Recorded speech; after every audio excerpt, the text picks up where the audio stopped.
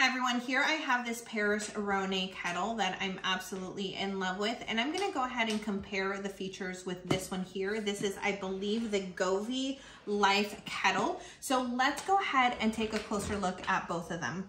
Um, first of all, obviously they both have the detachable um, bottoms there, the warmers. Uh, what I like about this one is that you can kind of just hide the cord. You can go ahead and like tuck it under um, to go ahead and put it away. And, you know, this one has this little groove in there.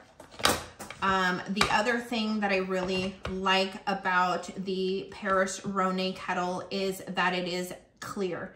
Um, so you can always see the water boiling. You can see where it's at. It has the measurements.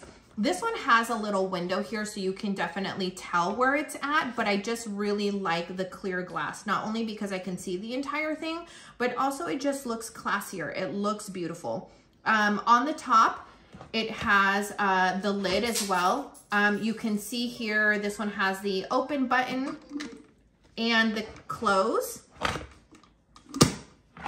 It also has on here, let me just show you, I don't know if you caught it, but when you open it, it has this little, um, almost like a little mesh um, little strainer there. So if you have maybe for tea or if you're boiling tea or whatever it is, it's going to just kind of um, catch some of that. So I love that feature and I love the um, spout is a little bit smaller so it's going directly into your cup.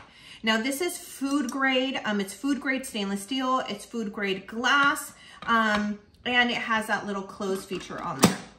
Uh, this one here just has the button up at the top. It doesn't have anything, so sometimes the water, the steam will kind of just come up through here. Um, so I'm not super, super fond of that. Um, next, let's go ahead and check out the handles. The handles are where they have the control features, right? So this one has um, the boil. You, you can do tea, coffee, or DIY. Um, this has a Bluetooth feature, so this just has these right here. Um, you know, pretty standard. And then you have this over here. Um, uh, both of them are 1.7 liters. Um, this also has the, you know, like the little um, touch screen on here.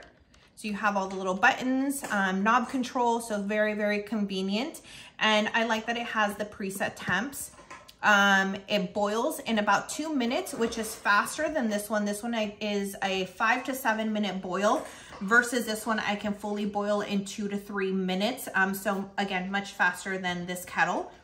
Um, it also has a smart keep warm. Um, so as soon as it finishes boiling, it'll keep it warm um, for at least 30 minutes, 30 to 60 minutes, it'll keep warm on here. Um, and then you can manually activate the keep warm mode as well. So here you guys have the Paris Rhone tea kettle. Enjoy.